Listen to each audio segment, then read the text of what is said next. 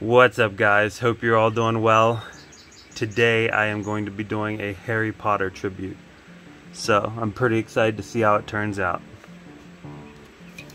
Alright, let's get into it.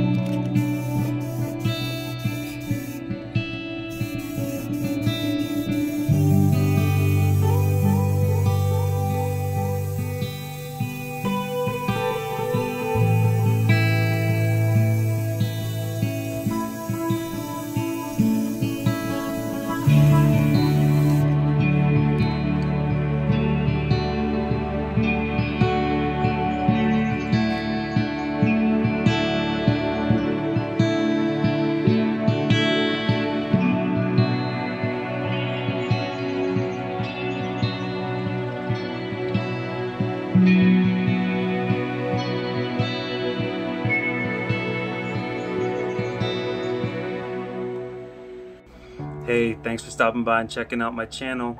If uh, you enjoyed the video and you want to see more content like this, hit that subscribe button down below. It helped me out a lot. Uh, also, if you have any cool like spray paint art ideas for me to do in the future, uh, leave a comment down below for that and I will check it out as well. Um, yeah, so thanks for stopping by. My name is Dexx and I will catch you guys in the next one. Peace.